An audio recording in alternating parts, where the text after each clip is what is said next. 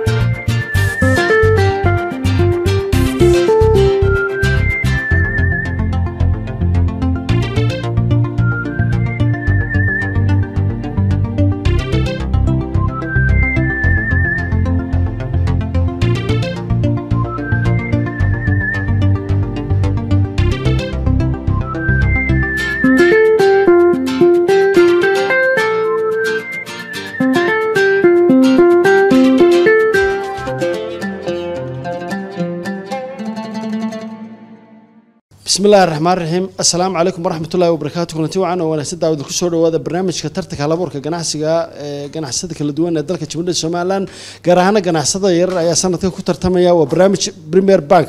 Uu sanadka si joogtaa ugu qabto guud ahaanba bulshada reer somalilan iyadoo sanadadii hore nagala qayb qaateen ardayda jaamacadaha kala duwan iyo bulshada qeybaheeda kala duwanba sanadkan waxaa uu barnaamijkan si toosa u taaban doonaa ganacsada yarar si loo dhiirigeliyo kobaca ganacsigooda yaryar waxaan jeclay intaan barnaamijka faahfaahintiisa gelin inaad ila soo dhaweysaan xubnaha guddiga ee barnaamijka kala saareysa oo rag khubro ah waxaan u yeedhayaa guddoomiyaha barnaamijka tartanka halabuurka ganacsiga xamse cumar kujoog ayaan jeclay saaxibka igula soo dhaweysaan.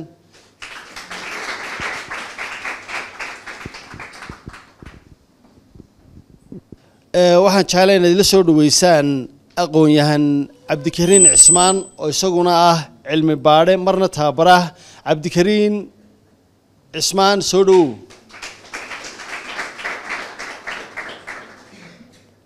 cabdikariin waan ku soo dhaweyneynaa waxaa kaloo jecel inaad ila soo dhaweysaan cabdiraxmaan cali xirsi oo barnaamijyo horena nagala qeyb galay oo ah tababare isla markaasina ganacsiga qeybka ah cabdiraxmaan soo dhowow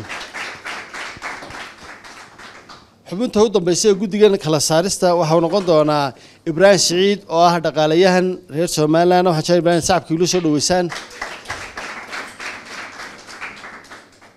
waa kuma cabdiraxmaan cali xirsi. Cabdiraxmaan cali xirsi waxa uu shahaadada heerka labaad ee jaamacadda masterska uu ka qaatay jaamacad ku taalla waddanka malaysiya waxaana uu ku takhasusay arrimaha maamulka iyo ganacsiga waxa uu ka soo shaqeeyey hay'adda b s i oo uu soo maamulay mashaariic kala duwan. Sidoo kale waxa uu ka soo shaqeeyey hay'adaha africa education trust iyo handicap international. Cabdiraxmaan waa aasaasaha iyo guddoomiyaha shirkadda hasi consultant oo hadda ka shaqaysa dhammaan geeska afrika isla markaasina xarumo ku leh magaalooyinka hargeysa jigjiga iyo muqdisho. Waa kuma ibraahim saciid ibraahim saciid yuusuf waxa uu shahaadada labaad ee jaamacadda masterska uu ka qaatay jaamacad ku taalla waddanka suudaan isagoo ku takhasusay cilmiga dhaqaalaha. Waa bara sare oo labiyo tobankii sane u dambeeyey wax ka dhigayay jaamacadaha dalka waxaana lagu abaalmariyey abaalmarino macalinimo oo uu ku mutaystay dadaalkiisa wanaagsan ee dhinaca waxbaridda. Waxa uu ka soo shaqeeyey shirkadda dahabshiil waxa uu ahaa guddoomiye ku-xigeenka hay'adda wacyigelinta raashinka ee somalilan ibraahim waa asaasaha xarunta la talinta ganacsiga smart. Waa kuma cabdikariim cismaan jaamac cabdikariim cismaan jaamac waa khabiir caalami oo ku takhasusay kobcinta hogaaminta istiraatijiyadda halabuurka iyo tiknolojiyadda waa khabiir hindisayaashiisa fikradaha hogaaminta iyo istiraatijiyadaha ay xigtaan harvard iyo m i d. Oo ah jaamacadaha adduunka ugu horreeya cabdikariim waxa uu hogaamiye ka soo noqday shirkado tiknolojiyadeed iyo kuwa kobciya hogaaminta waxa uu soo noqday hogaamiyaha hanken school of economics iyo stockholm school of economics executive education program africa.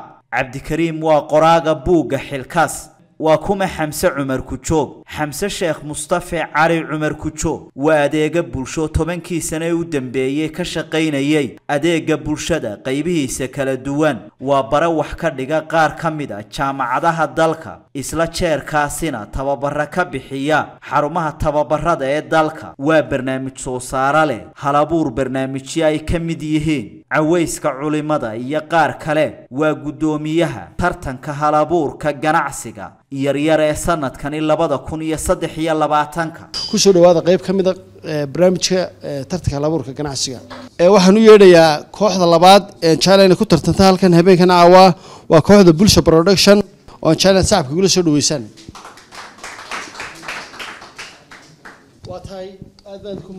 Kooxda bulsha production. Oo runtii ah tartamaha labaad ee habeenkan caawa dhammaantiin waxaan leedahay rabadaan kariim waxaan ku soo dhaweynayaa waa tiam baa soo garab istaagay tiamka dhammaantood waxaa ka socda bulsho production saan filayo. Waxaa inan ka mid ayaa soo presentation halkan ku soo jeedin doonta magaceeda ayaan jeclay marka hore ku bilowdo iyo kooxda inay warbixin ka bixiso halkay ka socdaan gobolkee mamarojexba ama goboladii kale wadanka waan idinku soo dhaweynayaa bismillaahi raxmaan raxiim magacaygu waa farax cabdulaahi maxamed. Aasaasaha bulsho production flowers. Waxaan ka socdaa hargeysa somalilan gaar ahaan maroodi jeex kulley tiimkaygu waa dhowr laakiin inta hore waxaan ku gelaynaa saddexdaydan oo waxaan ku soo bandhiganaa isbarbardhiga wixii dambe aniga ayaaba u taagan businesskayga. Marka waa tahay farax waxaad haysataa shan daqiiqaad haysataa waxaad ka gaadhsiin doontaa waxyaabihii halkan aad ku soo bandhigayseen tartanka ka qayb gelayseen iyo waxyaabahaas leetar barnaamijkiinan uu ku iibsamaya caawa. Idinkii waxaan idin kala baxayaa guddiga bismillahi raxmaan raxiim businesskayga waa bulsha production flowers. Waxa uu soo saaraa falaawurada qalinjabinta welibana dalka gudihiisa. Kuwaasoo dibadda inooga iman jiray welibana imaada xili cayiman oo ah xilliga qalinjabinta balse kun waxay kaga duwan yihiin waqti kasta waad helaysaa oo dalbato waa diyaar. Midab kastoo dalbatona waad helaysaa. Waxaan u sameynaa saddexda xisbi qaran. Calanka somalilan institutionada kale ee ka jira magaalada targetkeyga waxa weyaan sidaan u soo saari lahayn good quality production flowers in hargeysa somalilan ayadoona business kan oo kale aanu ka jirin hargeysa iyo somalilan oo dhan. Ujeedkayga waxa weyaan inaanu ballaarino oo aanu de horumarka gaadhsiino bulshada oo dhan. Problemka xalinayna waa kaasoo faraawulada waxay ag taagan halkan gacantayda midig asma waxay xidhantay faraawliskii dibadda ka imanaya haddaad wada arkaysaan. Kolley qualitigiisa iyo quruxdiisa idinka garan kara. Inanka halkan ag taagan cabdiqaadir baa la dhahaa. Isaguna waxaa xidhan yahay faraawuladii hargeysa lagu sameeyey production of hargeysa ama made in hargeysa somaliland. Solutionkayguna waa inaan sameyno on good quality production flowers kolley wax kastaaba waxay leeyihiin meel laga bilaabo iyo meel lagu dhameeyo shirkadayadan yari waxay sameysaa falaawurada waxayna martaa lix brocess shan brocess bay martaa. Brocesska ugu dambeeya ayuu ku soo baxaa. Outputka loo baahan yahay. Halka brocesska koowaad kay preparation ka labaad cuttingkii ironinkii makingkii packagingkii and product dhammaystiran laga gaadhayo. Haddaad aragto waxaad arkaysaa isbarbardhiga falaawuradaas waa dhammaantood kuwii dibadda inooga imanayay. Quality ahaan iyo qurux ahaanba waad arkaysaan halkay joogaan markaan barbar dhigno kuwii dalka inooga imanaya waxaa xidhay arday qalin jabisay arday kastoo qalin jabiya wuxuu helayaa faraawil u eegoonkiisa qof kastoo caruusa u baahan wuxuu helayaa faraawilka u baahnaa. Qof kastoo oo doonaya inuu dharkiisa u loogu ekeysiiyaa kolley competitionka aniga faraawilkaa dibadda laga keenay mooye. Cid kaloo dee igula tartamaysaa ma jirto sidaan arkayo. Haddii aan yaro qiimeeyo dakhli ahaan horta waddanka wuxuu ku soo kordhinayaa waa inuu tax forgo cashuur inuu dee dalkii lagu bixiyo in job creation sameeyo haddii ay ballaarato. Shan process bay martaa process kasta wuxuu baahan yahay. Dad cayimanoo ka shaqayn doona wuxuu safegaraynayaa lacagihii dibadda loo dirayay. Koley tiimkaygii rasmiga ahaa waa tiimkaas waxaan nahay structurekii kambaniga anigoo ah asaasihii labada hablood oo iyaguna ah productionka. Labada inanoo midna technical yahay midna yahay marketing and consulting koley kharashaadkii halkaas baan ku soo dabaqnay waxaan u baahnayn lix mashiin. Haddaan eegno maxaad faa-iideen ambaad soo saarteen? Waxaana soo galay bishii waxaan ka soo bilownay sagaalaad sidii lanoo sheegay waxay soo galay laba kun afar boqol iyo afartan doolar waxaan iska jaray kharashaadkii waxaa soo faa-iido noqday kun shan boqol iyo konton doolar halka markan ku tuso halkii kartoon ee flowra layga siinaya aniga qiimo jaban markan soo saarana haddaan kuu istimiid gareeyo boqolka flower waxaan ku sameynayaa boqol iyo shan doolar halkan ku dhufanayo anoo kii dibadda ka jebinaya afar doolar ilaa afar boqol oo doolar buu noqonayaa boqolka faraawil oo waxaan haystaa faa-iido dhan saddex boqol oo doolar aad bay u mahadsan yihiin labada aad baan idinku mahadnaqayaa dadweynaha waan u mahadnaqaya xubnaha guddigaaba waxaan jecelahay waxaad geli doontaa qeybtii su'aala ahayd lix daqiiqaad haysataa waxaa halkan nimanka khubrada halkan fadhiya ku weydiin doona bal ganacsigaas waxaa laga wax badan inay ku iftiimi doonaan adigana. Waxaan idin kala baxaya adigii xubnaha guddida ee halkan fadhida in wixii su'aalaha ku weydiiyaan. Markan waxaan ka bilaabi doonaa cabdilkariim oo su'aalihiisii israacsan doona kadibna farax baa u jawaabi doonta aad baan idinku hambalyeynayaa businesska ama ganacsiga runtii waxa uu egyahay dee ganacsi innovative ah. Kolley detailskii weli aada umaan wada helin isla markiiba. Laakiin processka aad aada halkan ku soo bandhigtay idinku inaad tallaabooyinkan oo dhan idinku maraysaan oo aad dabeedna finalize garaysaan ilaa aad ka gaadheen final product waa wax aada loogu farxa weeye. Hambalyo marka hore ganacsigiinu markaa waxaa tiri wuxuu ku wajahan yahay ardayda khaasatan qalinjibintooda somaliland. Horta ma ma jaamacaduhunba mise high school maaragtay secondaryaduna ku jiraan iyo kuwii ka soo hooseeya? Marka eego baahida loo qabo dhimaanka suuqa ka arkay dhammaan meheradaha giftiska iibiyo oo dhan walow aanan weli gaadhin oo de businessku wax yar jiro baahi weyn bay u qabaan hadda customer baan yaga ka leeyahay. Kii dibadda waxaa jira meheradaba iskaba daayayba oo kayga qaata oo ku sii xisaabtama oo sii dalbada. Inta darsin ay u baahan yihiin. Waxaa kaloo jirta dhammaan ardayda qalinjabinaysa institutionada gaarka ah sida hay'adaha bisha cas oo kale. Waxay qaataan dhisaynkooga casankii cadaan qolyaha kale soo dalbatee sida xisbiyada saddexda qaran way qaadanayeen berigi dhaweyda ololaha xiliyada ee dhiinmeyda oo kale qolo qeyb calankaa sameeyaa marka taargetkaygu aniga maaha inaan dee hal qof ka iibiyo laakiin waa inaan ku iibiyo jumlad iyo tafaariiq. Waxaa kaloo igu xiran meherad ku taala berbera oo la yidhaahdo saaxil giftis. Marka productionkaygan haddii aan sii wado waxaan filayaa inuu dalka wax badan u kafurgarayn karo insha allah. Targetkaagu laakiin ugu weyn marka hore waa waa ardayda qalin jabinaysa dhan. Taargetkaygu dee waa inaan bahaladan dibadda laga keenayo aan joojiyo baahidii dhammaystiro. Ardayda qalin jabinaysa dee maahe waxaa xidhan kara. Ku qalin jabinaya ku caruusa qof la soo dhaweynayo oo kale hay'adahoo kale dad bay soo dhaweeyaan xisbiyadii hore way tegi doonaan kuwa kala iman doona marka aniga lama aha businesska business haraya laakiin jiil kasta. Baahidiisa. qalinjibinta uu ka bilaadhanyo cid kasta way soo dalbanaysaa waxa adigaagan haddaad tidhaahdo dhisaynkaasaan u baahanahay. Waqtiga ugu yar baa lagu sameynaya oo kuu diyaar. Briceka markaa qiimaha briceka haddii aan kuu sheego resultiga caadiga ah kolley waa taqaanaa no frawilkan waxaa la siiyaa shan doolar waa iska dee la wada garanayaa. Haba la siiyee kan uu ka jabayo afar doolar baa la siiyaa sababtan u siinana waa anagoo dee hargeysaba ku sameynay waxaan ognahay inta gasha in ka badan inay ka soo baxayso. Matalan haddaan ku yidhi waxaan sameynayaa boqol falaawir boqolkii boqol shan doolar baa iga gelaya calaa afar doolar haddaan siiya balka war. Materialka xaguu ka yimaadaa materialku halkan dee dibaddu ka yimaadaa laakiin halkan baa laga helaa isagoo sidan kuma imaado waa nin processku tusay. Kolley processkaasaan wada marinay dee cid marisa anuguma aragoo dee haysaba. Gartay. cabdiraxmaan aad ba umahadsan tihiin bulsha production oo sida cabdikariin sheegay waa fikrad runtii innovative ah oo hal abuur leh. Waan idinku bogaadinayaa haddaad ku guulaysataan iyo haddaydan ku guulaysan tartankanba inaad sii wadaan oo maaragtay aad ka midha dhalisaan ilahay idamkii anoo sii daba socda su'aashii cabdikariin ee hadda barayska iyo costiska la xidhiidhay marka tusaale ahaan aada boqolka midh samaynayso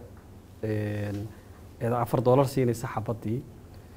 Ilada boqol iyo shan bay ugu taagan yihiin. Boqol iyo shantaasi ma alaabta lagaa soo iibiyeyba mise waxaad ku dartay laydhkii materialkii kale dadkii kiradii guriga costiskii oo dhan ba? Mise waa waxaad ku xisaabtamaysaa materialka? Iminka waxaan kuu soo qaatay tusaale ahaan boqol xabo balse ka waran haddii aan sameeyo afartan dersin oo afartankaa dersin aan ku dhufto dersinkii waa lixdan doolar haddaan calaa shan doolar xataa siiyo waayo brodhagayga brodhag lamida ma yaalo waan qaaliyeyn karaa waan jebin karaa xilli baa loo baahan yahay. Iminka matalan sannadkii dhaweed suuqa dabbaa ka kacay meheradihii safrada keentay way gubteen. Keliya aniga demi gubeyno suuqaba markaa moo ka yaroo soo sokeeyey. Markaa haddaan caadi ahaan kuu qiyaaso kartoonka waxaa ku jira toban xabo kartoonkii haddii lagaa siiyo soddon doolar baa la siiya kartoonkii. Waxaan ka sameynayaa laba dersin baan ka sameynayaa labadii dersin aan ka sameeyo waxa weeyaan calaa dersin waa shan iyo waa lixdan doolar dersinkii dersinkii kalena waa lixdan doolar kartoonkii wuxuu noqonayaa boqol labaatan doolar waxaad iga jartaa soddonkii doolar ee kartoonka laiga siiyey. Waxaad kalood iga soo jartaa toban doolaroo bacda ee kuusha yaregelaysa iyo dunta yaregelaysa halkaa waxaa faa'iiday ahaanaya siddeetan doolar laakiin shaqaalihii total ahaan marka eeg waxaan ka wadaa costka markaad costgaraynayso. Sax qiimaha ay kugu taagantahay markaad xisaabinayso. Ma waxaad xisaabinaysaa inta alaabta lagaa soo siiyey mise waxaad ku darsanaysaa laydhka ironinka tusaale ahaan imika kaawiyadaynta dad baa gelaya dab baa lagu kaawiyadaynayaa biyaa laga yaaba inay galaan. So waxaasoo dhammi ma kuugu xisaabsan yihiin baan su'aashaas baan ku weydiinayo. Haway xisaabsan yihiin? Okay su'aasha labaad aan ku weydiinaya waxay tahay production capacity-ga. Tusaale ahaan maanta haddii aan ku idhaahdo waxaan kaa soo dalbaday container goormaad containerka buuxin kartaa calashaan maalintii imisaad soo saari kartaa bishii xaddi intee leeg ayaad soo saari kartaa markaad lacagtan haddii lagu siiyo ku guulaysato productionkaagu intee buu kordhayaa oo xaddi intee leeg buu yeelanaya hortay container dalabaad buu ku xidhay marka la eegayo soo dalab oo soo xaysiya waxaan leeyahay mira heeradihii waxay gaadhay xilligii qalinjebinta ha soo dalbadaan xaddigii u baahan si loogu talagalo customerkaas oo loogu sameeyo waxoogaa laakiin meherad markaa extra ku timid oo dee dalab dheeraada doonaysa wax laga yaaba inaan dee meheradihii kale loo hayo maadaama businessku imika bilow yahay aanu kambani weyn hayn. Ta kale waxa weeyaan waxaan ku sameeyaa. Iminka tiimkaygu wuxuu ahaa shan qof baan ka koobnayn saddex production baan hayn. Saddexdeedaa productionka maadaama small nahay weli oon yar nahay waxaan maalintii awoodnaa inaan soo saarno calaa qof dersin. Marka haddaan bishii ku dhufanno sagaashan dersin baan soo saarinaa saddexdeedaa qof. Marka haddaan tiimku ka sii bato dee productionkii uu helo ee, dhiirigelin kale iyo investmentba uu helo oo kambanigii la ballaariyo oo bal ka waran ay ka shaqeeyaan qaybta productionka oo keliya toban qof. Bal tobankii ugu dhufo qof kasta bishii wuxuu soo saarayo. Marka kolba waxay ku xidhan tahay baaxadda ay leeyihiin employiga ka shaqeynaya qaybta productionka. Marka halkii qof maalinta wuxuu soo saari karaa hal dersin. Waxaan rajeynaya inaad himiladiina gaari doontaan. Laba su'aalood baan jeclay inaan ku weydiiyo. Waxaad xustay inaan suuqa lagugula jirin. Maadaama lagugula jirin suuqiina fursad bay maka kuuta hadday dhacdo suuqa lagula soo galo. Qorshe nooceeyaa kaaga yaalla oo aad saamiga suuqaaga ku sii haysan kartaa Een, haddii ay lacag laba dhacdo hortay bahalkan dhib badan buu marayaa. Marka anigu waxaan aaminsanahay qof hardworking ah oo habeen iyo maalin u soo jeedaya mooye inaanu qof kale u dhabar adeegeyn matalan dersin baa la sameynayaa aroornimadaa loo fadhiisanayaa habe galabnimadan oo laga kacayaa. Marka yay ka go-an tahay inuu kambaniga maanta u soo fadhiyo oo meheradahaas baahidooda dhammaystiri karo oo ku dadaalayay inuu soo saaro intaas midda kale lix shan broseys buu marayaa. Broseys kasta la wuxuu leeyahay broseskii ka sii adag waxaa iman kara qaar kuwan ka quality daran. Sideebaa labadii la isugu barbar dhigaya customerkiina wuxuu kaa doonayaa kii kaa iibsanayay alaabtani alaabtii inay ahaato mid adag oo tiyo kala. Hadduu in yar baro dhagaa imid wax ka dhinmaan wuxuu ka odhanayaa tii horead iga iibinaysay maahee maxaa ku dhacay marka waxay mar kasta ku xidhan tahay inaad ilaaliso barodhaga qualitygiisa. Marka tayadaad ku tartamaysaa tayada iyo dee productionkiiba oo dee iyo uniquenimadaas uniga uu yahay businesskaas su'aasha labaad mashruucaaga eh, markii aad aasaastay raasamaal baa kaaga baxay? Ama hanti madaxeed? Intee leg muddo intee leg buu ku soo celiyey kharashkii ku baxay shirkaddu ay ku soo celisay horta markii koowaadan aasaasiyey ee, dee business yaroo kooban buu ahaa. Ilaa aan soo yaro dhawaadoon lacag helayna muu sii ballaaran. Intii hore anaa keligay soo waday oo soo waday. Markii in aan geliyey uu soo saaray faa'iidadii isla markiiba. Haddana step baan u socdo aqalkan ku samayn jiray. Meheradu way soo dalban jireen waan u geyn jiray waxaan gaadhay inaan alaabtii soo yaro kordhisto inaan aqalka iska yaro baxon xafiis yar kiraysto oon alaabtii dhigto. Balse xafiiskii kuma filno. Dee shan borsays buu maraa borsays kasta wuxuu u baahan location u gaara iyo dee dad baaxadiisii leh marka muddada ma qiimeyn kartaa? Muddada ku soo celiyey soo celiyey muddadu isku soo celiyay. Dee markii koowaadeen sameeyey waxaan ku bilaabay inaan diyaariyo labiyo toban dersin labiyo tobankii dersin wax yar baa galay. Markiiba isu soo celiyey halkaasaan faa'iidadii ka arkay waana sababta ilaa imika uu sii wado uu u socdo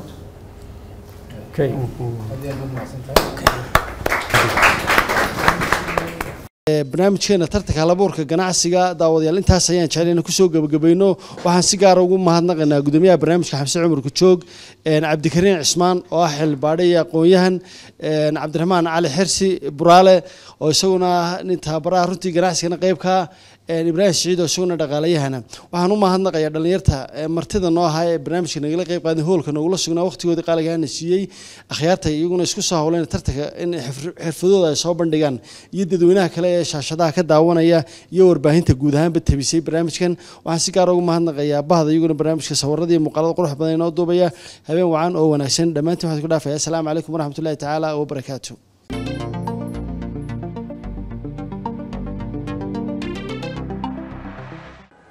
walaal safarkaygii turkiga saacadaa ka hadhay. Lacagta intaa leegna safar lama geli karayo. Waxaan doonayaa lacagta inaan kuu sii dhiibo si aad iiga soo daba dirto. Waa dahooy. Taleefonka carruurta kula haystee hayga qaban waaye. Walaalay sodagii ilbaxa. Ahaa si kaa noqotay maanta had maa laga tegay wararka aad ka sheekaynayso maxaa lacag lagaa soo daba dira iyo taleefon aad ka soo hadasho kugu howlay soo tan berimirin bank noqotay howl fududayn oo halkii aad tagtaba xoolahagay ku daba sidaysaa oo aan koon baaba ku leehay lacagtaan dhigtee mayaga iga soo daba diraya bal ina mari. Kusoo dhawaada premier bank maxaa idinka caawiya eedda masterkaar baan u baahana